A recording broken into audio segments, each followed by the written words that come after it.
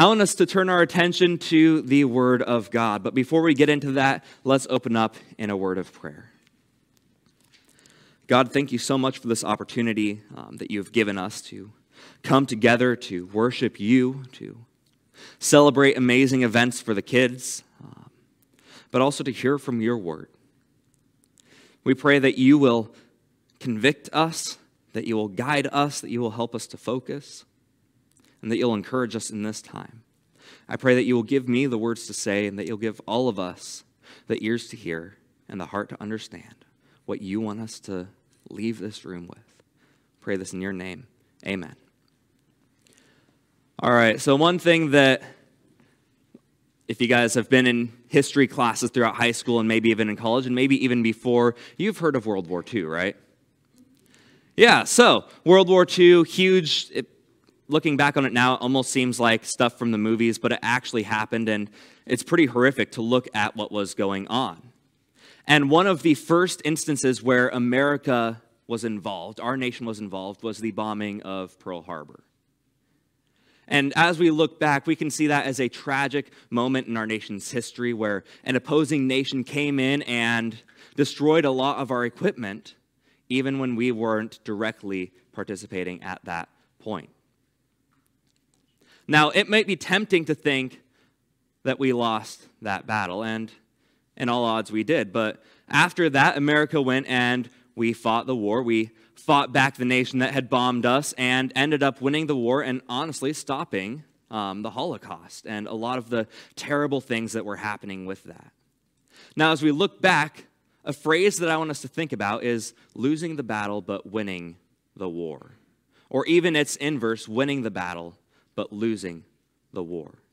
Because that's what happened with Japan. They won the Battle of Pearl Harbor and then they lost the war in general. And we'll see that principle coming out as we look and continue in our series through Habakkuk. We call this series Even If because, as we talked about last week, we see doubts and we see evil all around our world. And how do we respond even if everything seems to go wrong? So I want us to keep that in mind as we look at Habakkuk chapter 2, starting in verse 2. And before we get into that, it might help for a little bit of background, right? Because I know not everyone was here last week, and even if you were, you might have forgotten some things. I know I need the reminder personally myself as well. So, Habakkuk chapter 1 starts off with the prophet Habakkuk noticing that his nation is wicked, that there's injustice and evil everywhere. So he cries out to God, God, when will you fix this? To which God responds, Oh, don't worry, I'm raising up the Babylonians to destroy um, the nation of Israel, and then all the evil in Israel will be gone because the nation will be gone. To which Habakkuk responds, What? That, that's not what I asked for.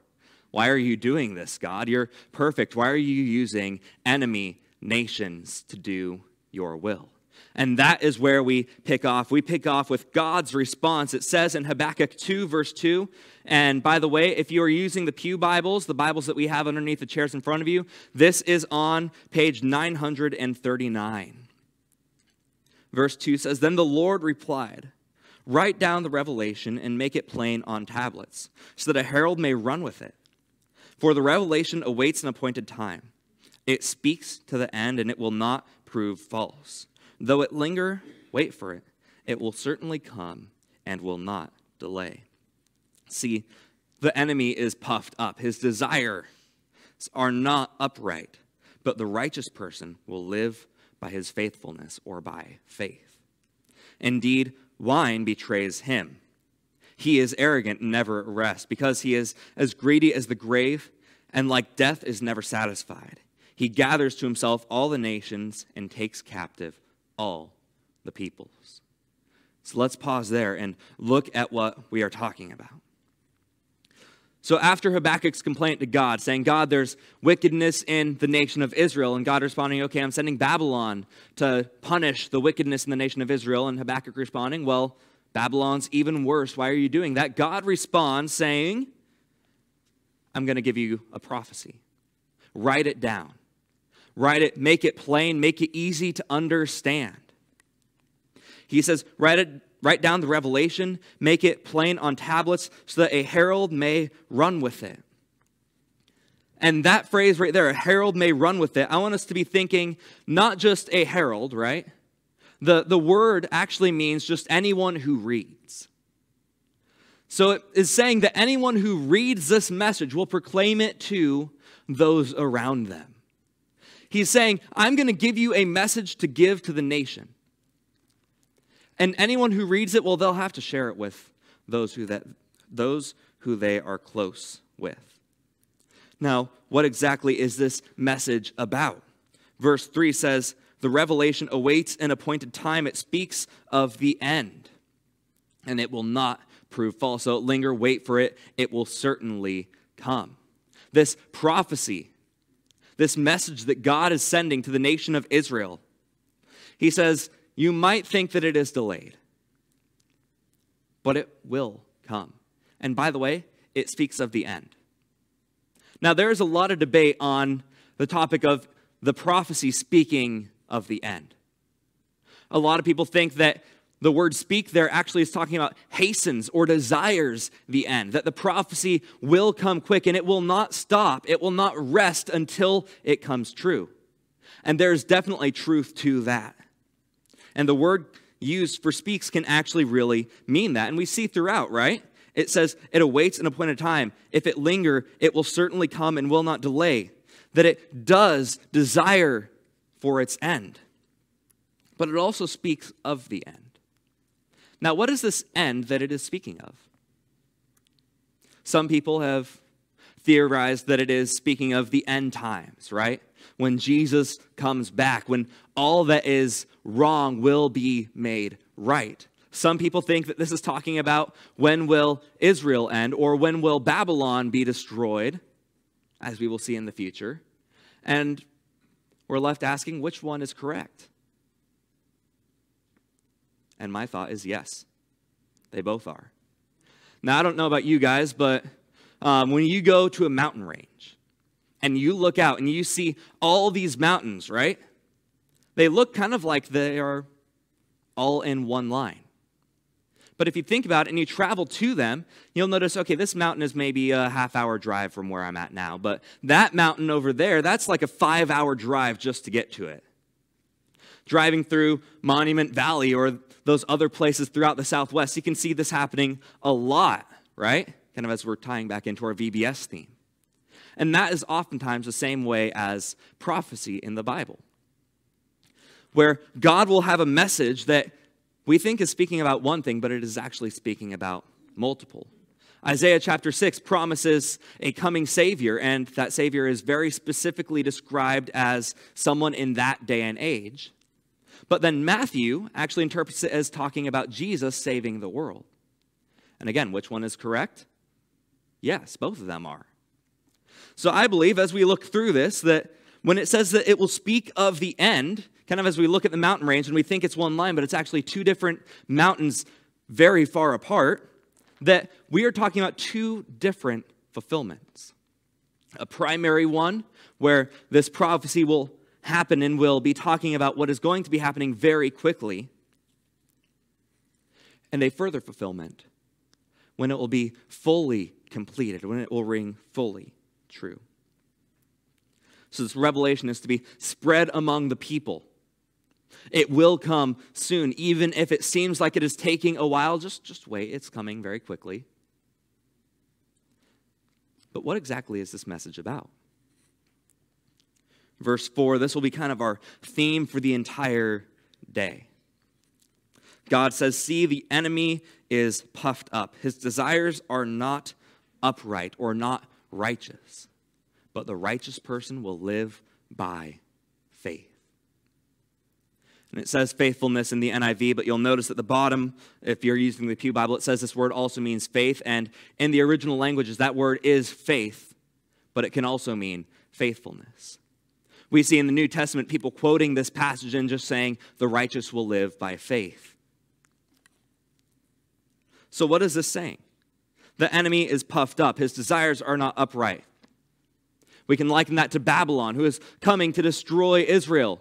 They are not upright, they are not righteous, their desires are for themselves, but the righteous shall live by faith. Even if everything is going wrong, how are the righteous to live? By faith. In a way, God is saying, Trust me. Trust Him. Even if we don't understand what is going on, our position towards God, our stance towards God should be one of, I don't know what you're doing, God, but I'm going to wait. I'm going to see what you're doing. God says the righteous, those who are upright, those who are in good standing with God, will live by their faith. Now, just to kind of clarify this, faith is kind of a Bible word, right? Um, it is what some have called Christianese. A word that is said so much in the church that people outside the church don't really know, and people inside the church have kind of lost all sense of its meaning. What exactly is faith? I'm willing to bet that if most people tried to define it, they wouldn't really come up with a solid answer in their minds. I know that for me, it is really hard to define faith. But if we look even in the book of Hebrews, it says in Hebrews 11, faith is the evidence of things not seen, it is the conviction of things hoped for. In a way, faith is believing in something that you do not see. It is believing that, you know, although I cannot see the outside, I trust that it is sunny. Now, that might be wrong because we live on the southern Oregon coast, right? But faith is believing in something that you do not see. So we should live by faith. And even if we don't see God's plan, we still believe that He has a plan. Then he continues in verse 5 saying, Indeed, wine betrays him. He is arrogant and never at rest because he is greedy as the grave, and like death is never satisfied. He gathers to himself all the nations and takes captive all the peoples. The end of this intro, God likens the wicked, the evil, the, um, the proud, the arrogant to wine. And other translations actually state that wine is a traitor, that it puts the alcohol actually in the negative and likens these two even closer than the NIV states. But make no mistake, it's talking about the arrogant person. We know what happens when you drink a little bit too much alcohol, right? You start to lose judgment. You desire more. There's a reason why a lot of people can't just stop at one or two or three or five drinks, right? It is because wine is greedy. It is never satisfied. And much like that, the evil person, the wicked person, is the same. Much like Babylon, as we talked about last week, will come to punish the nation of Israel, they will also punish a little bit too much that they will go on, they will not be satisfied just destroying the nation of Israel, but they'll have to go on and destroy Assyria and fight against Egypt and go against all these other nations and Persia and fill in the blank because they are never satisfied. Wine betrays him. He's arrogant and never at rest. And this is where we get to the meat of our passage because Habakkuk's complaint to God saying, Why are you letting the some more evil than us destroy us? God's response is, Trust me, I have this handled because the greedy, the unrighteous, the wicked people, their time is coming.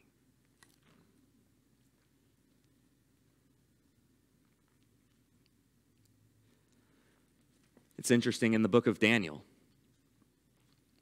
we see actually the story of Babylon and they come and they destroy Israel, just like God had promised. They take captive all the young and the wealthy and the well off people to train up and kind of use as their own, trying to assimilate them into the nations. And all the others, well, you're just going to be either dead or farmers, right? You're going to take care of the land. And Israel was destroyed in that time. But God was still working. He brought up a man named Daniel, hence the book of Daniel to come and to share his word, to proclaim the will of God to his people. I bookmarked this, but I can't find it. Oh, there it is. And we see an interesting passage in Daniel chapter 5. You see, God was working, but Babylon was arrogant. The king of Babylon, Belshazzar, fun name, right? By the way, if you want to name your children something interesting, just look in the Bible. It can be pretty entertaining. You might get the name Blastus, or you might get the name Mahalalel. So it goes both ways. Um, Belshazzar, the king of Babylon, is greedy and he is desiring more, just like Habakkuk prophesies. So he decides to throw a giant party. And in this party, him and all of his royal subjects and you know all the leadership of the nation, they're getting massively drunk. So much that they can't really tell what is going on. And in his drunkenness, the king cries out, Hey, you know Israel, that land that we conquered? Remember their temple? How we um, how he stole all of the sacred things from there. Why don't we bring out those gold cups and use that to get drunk with? Now, how do you think God would feel about that? Probably not good. Well, definitely not good because the Bible conveys in Daniel chapter 5 that a hand appears out of nowhere, just floating, and it writes four words on a wall. And this is kind of horrific. Think about it. This hand, if it is separate from a body, is probably a little bit gory, right? It's not clean, it's not an animated cartoon. This would horrify you, especially if you were pretty drunk like these people were. So they call for Daniel, a prophet of God, to come and interpret it. So he comes and he starts to share with the king, King Belshazzar, all of this plan, condemning him for what he has done. And we pick up in verse 25 of Daniel chapter 5. The writing that was written that no one could read, Daniel says, This is the inscription that was written Mene, Mene, Tekel, Parsin. Here's what these words mean. Mene means God has numbered the days of your reign and brought it to an end. Tekel, you have been weighed on the scales and found wanting. Peres, your kingdom is divided and given to the Medes and the Persians. Then at Belshazzar's command, Daniel was clothed in purple. A gold chain was placed around his neck, and he was proclaimed the third highest ruler in the kingdom, which, by the way, that's a little weird, right? Daniel just prophesied their demise and then he's uh, honored. It's because, well, they weren't able to interpret what it said. So, what happens with this prophecy? Well, good news, verse 30 and 31 tells us exactly what happens, right? That very night, Belshazzar, king of the Babylonians, was slain, and Darius the Mede took over the kingdom at the age of 62. God prophesied, hey, because you're doing these wicked things, because you're defacing the sacred um, elements of the temple, because you are, in a way, being betrayed by wine, as Habakkuk says, their kingdom is coming to a close. And that very night, they don't have to wait long until God's justice happens. This prophecy in Habakkuk, as we go back to Habakkuk chapter 2, is talking about a similar thing that the wicked, they may think that they are good to go. They may think that they have it all handled, but their time is coming too. Habakkuk complains to God, What are you going to do about Babylon? And God says, Trust me. Wait, I've got it handled. Verse 6 of Habakkuk chapter 2 says, Will not all of them, that is the nations who are being conquered, taunt him with ridicule and scorn, saying, Woe to him who piles up stolen goods and makes himself wealthy by extortion. How long must this go on? Will not your creditors suddenly arise? Will they not wake up and make you tremble? Then you will become their prey. Because you have plundered many nations, the peoples who are left will plunder you. For you have shed human blood, and you have destroyed lands and cities and everyone in them. So, what is God's response? To Babylon, he starts to lay out five woes. Now, these woes aren't like, whoa, that's cool, right? No, they are beware of what is going on. Woe is a bad thing. It is a warning of something terrible that is going to happen. So God provides five woes. He says that the plunderer will be plundered that the fortified will be torn down, that the violent, what is my word there? Yet the violent will be vanity. The shame will be shamed in and of themselves, and the idols will be silent. So he says, first off, woe to him who piles up stolen goods and makes himself wealthy by extortion. How long must this go on? He's talking about a nation that comes and they get their wealth from robbing other people.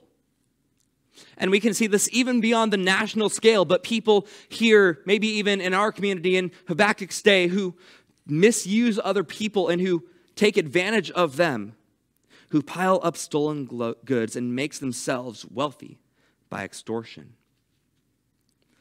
So, what is going to happen to these people who come and they steal in order to make themselves wealthy, who destroy in order to build up their own fortunes?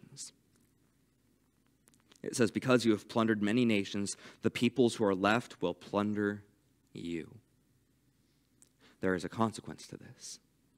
Those who do wicked, who get unjust gain for themselves, will themselves be plundered in the future. Remember our intro? We talked about winning the battle but losing the war. That's what's going to happen with the wicked.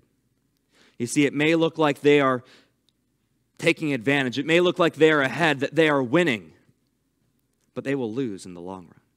The Bible says, because God is just. It may look like the people who are plundering and building up wealth for themselves at the expense of others are going to get away with it, but they will not. Because God wins the war, even if it seems like this battle is being lost. And I want to mention also, as we go through these woes, it is oftentimes a temptation to think or to hear in sermons that, oh, all these negative passages, they're talking about me, right? And yeah, some of them are. We need to make sure that we're not ripping other people off, right? But other times, it's meant to comfort. Because I don't know you guys, I don't know if you've been taken advantage of and hearing that, you know, God's justice will happen is a comfort. Because there are wicked people in this world. And although we can do wicked things ourselves, God will protect those who are being taken advantage of, especially if it's you. So he says to the wicked, Beware those who plunder, because you yourselves will be plundered, since you have destroyed others. The next woe we see, Woe to him who builds his house by unjust gain, setting his nest on high to escape the clutches of ruin. You have plotted the ruin of many people, shaming your own house and forfeiting your life. The stones will, of the wall will cry out, and the beams of the woodwork will echo it. In a way, he is saying that the fortified cities will be torn down. That those who think they are building up great things for themselves, right? That it will be dismantled. The wicked, they do things and then they build up the security for themselves to keep themselves protected. And God says that won't work. You can't escape God's justice by building a giant wall around yourself. You can't escape God's justice by sending all your funds overseas. You can't escape God's justice by hiding away or diminishing those who you have taken advantage of. God says here, Woe to him who builds his house, setting his nest on high to escape the clutches of ruin because they have done evil. And God says, You will forfeit your life. Those who, after they do wicked, try to hide themselves away to protect themselves cannot escape God's judgment because the fortified will be dismantled. And it's interesting here in verse 9, it says, The stones of the wall will cry out, and the beams of the woodwork will echo it. In a way, it's saying, even the buildings itself will cry out for justice. A wicked person may go and try to hide from God, and even the building that they are hiding in will say, Hey, you're not getting away from Him. God's justice is coming. And maybe you guys have felt that in your lives. Someone did something to you, and you feel like, Oh, they are getting away with it. They have hidden away. They have built up a system that encourages them and that keeps them from blame. God won't let them get away with it. He is promising to make things right, even if it seems like things are wrong in the moment. They will happen. God will bring about justice. So he talked about the plunderers being plundered, right, in the first woe. The second woe was talking about the fortified being dismantled. And the third one is that violence will be in vain. Verse 12 says, Woe to him who builds a city with bloodshed and establishes a town by injustice. Has not the Lord Almighty determined that people's labor is only fuel for the fire, that nations exhaust themselves for nothing? For the earth will be filled with knowledge of the glory of the Lord as the waters cover the sea. Woe to him who builds a city with bloodshed and establishes his town by injustice, verse 12 says. That violence done in order to build your experience, to build your influence. It happens, right? Maybe some of you have experienced that as well.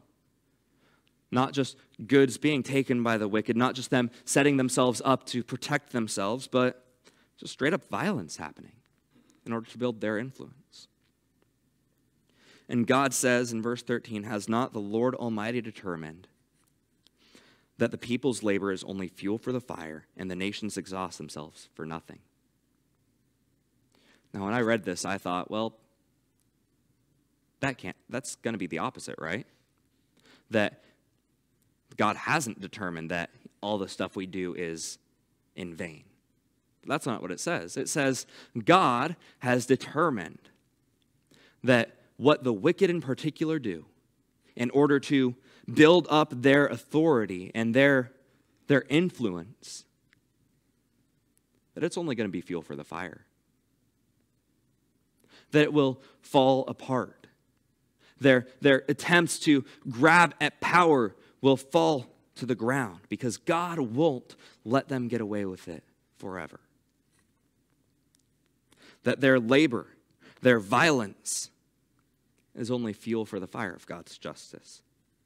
That they exhaust themselves and it turns out to be for nothing because all the influence they had built up falls away.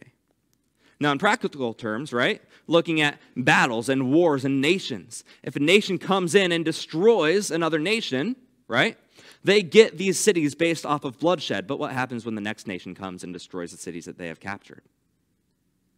It's meaningless for them. the violence done by the wicked for the wicked will be meaningless. The good that they think they have gained from their violence will turn into nothing. Woe to him who builds a city with bloodshed. And all this is done, it says in verse 14, so that the earth will be filled with the knowledge of the Lord as the waters cover the sea. And I love that image. How much do the waters cover the sea? completely, right? Yeah, there is no sea without the waters. Literally, it's saying one thing is the other thing. How much do the waters cover the sea? Entirely because there is no sea without the waters. The earth, because of God's justice brought on evil, will be filled with the knowledge of God completely. And we can see that happening as Babylon is destroyed, and these prophecies have come fulfilled from the prophet Daniel and the prophet Habakkuk, right? But we also see it that will happen in the future when God makes everything right for good.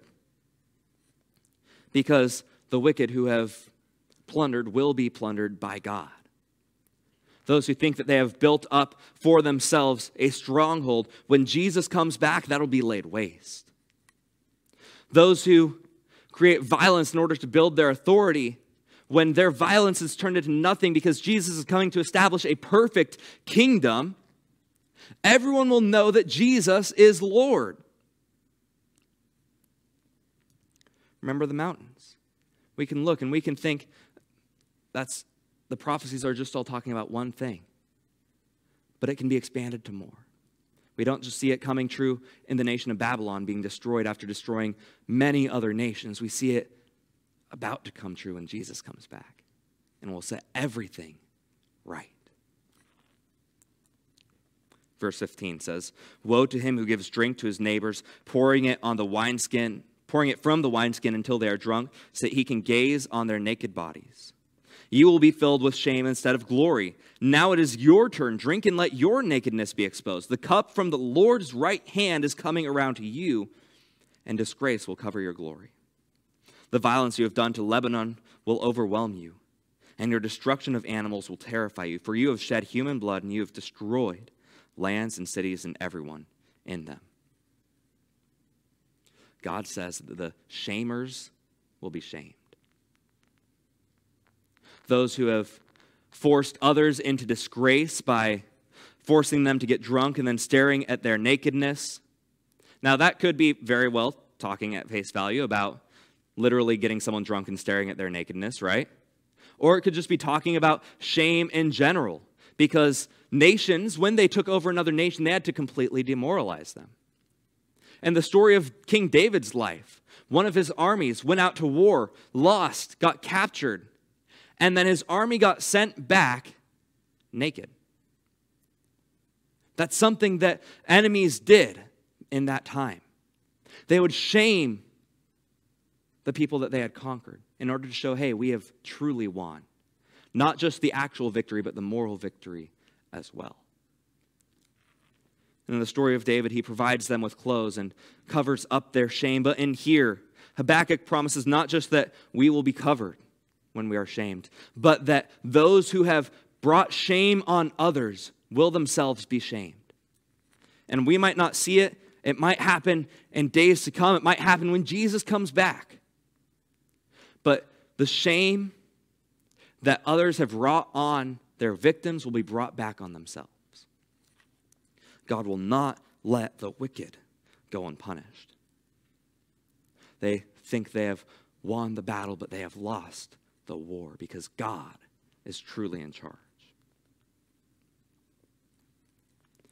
Verse 18, as we continue on this last woe, says, Of what value is an idol carved by craftsmen? Or what image that make that teachers lie? For the one who makes it trusts in his own creation. He makes idols that cannot speak. Woe to him who says to wood, Come to life, or to lifeless stone, Wake up. Can it give guidance? It is covered with gold and silver. There is no breath in it. The Lord is in his holy temple. Let all the earth be silent before him. Our passage ends. It says, Of what value is an idol carved by a craftsman? And this is a theme throughout the Bible, where God will make fun of idols, these false gods that people worship, right? Because, well, think about it. Can wood speak? No, right? Can a, can a stone teach? No, and yet people will build these statues way back in the Bible days and even in some places now in the world and expect that to guide them and teach them when they have created it themselves.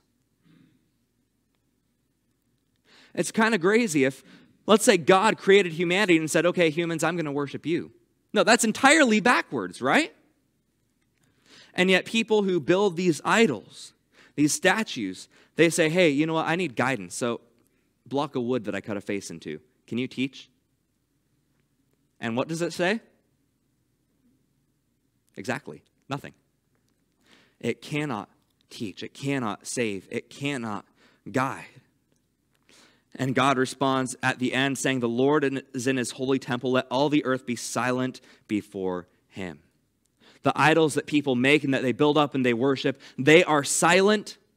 But God says, No, I speak, and I am the one who has the authority to speak alone. That we are to stand before God, knowing that He is in control, knowing that He is all powerful, that He can do what He wants, that He will punish wickedness. Now, with this last topic about idols, we might think, oh, well, I don't have a statue to Zeus in my house, right? So I'm good. I don't have to worry about that. But we all have pedestals in our house, I'm assuming, that has something that we might worship on it a TV, right? Can that teach? Well, if it has electricity running through it, then it can convey what other people have said, but the TV itself can't teach, right? It's silent. Why do we spend so much time in front of it? Maybe there's a relationship that you have put up on a pedestal too high, right?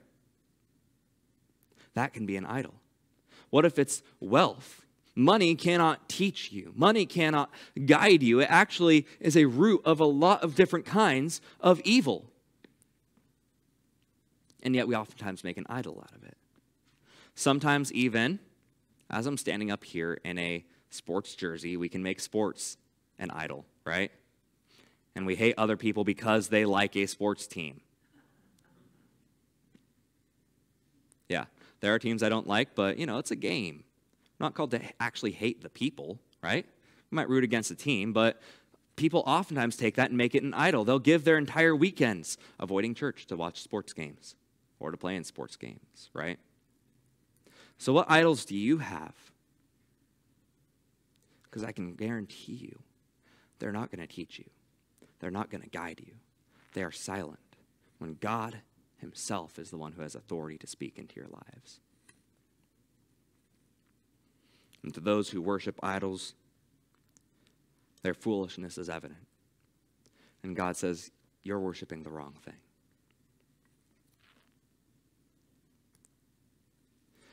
It's amazing in this passage. Habakkuk's complaint to God saying, There's so much evil in our nation. What are you going to do about it? God saying, Okay, I'm going to bring another nation in to punish the evil in your nation, right? Habakkuk responding, Why are you letting wicked people do your bidding? God's response is, Well, I punish all wickedness. He does it in different ways. He might use the wicked to punish the wicked, but then he'll punish the first wicked after that.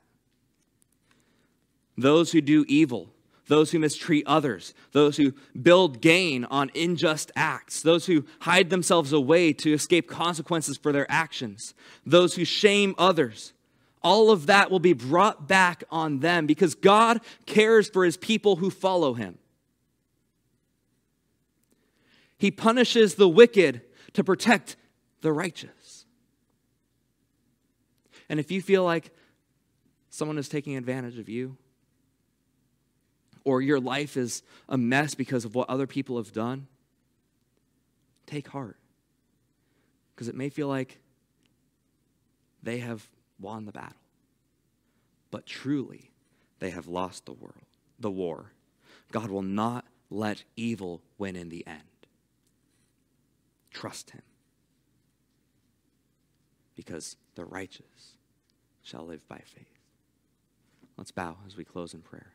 And as we close in prayer, I'd like to invite the person who's going to be leading communion and offering and Amy to lead special music to come on up. God, thank you so much for this time that you have given us. Thank you for this reminder that evil does not win in the end. That even though it may feel like wickedness is running rampant, that you will handle it, that you will take care of us, that you will bring justice.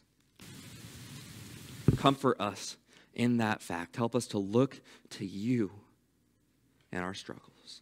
We pray this in your name. Amen.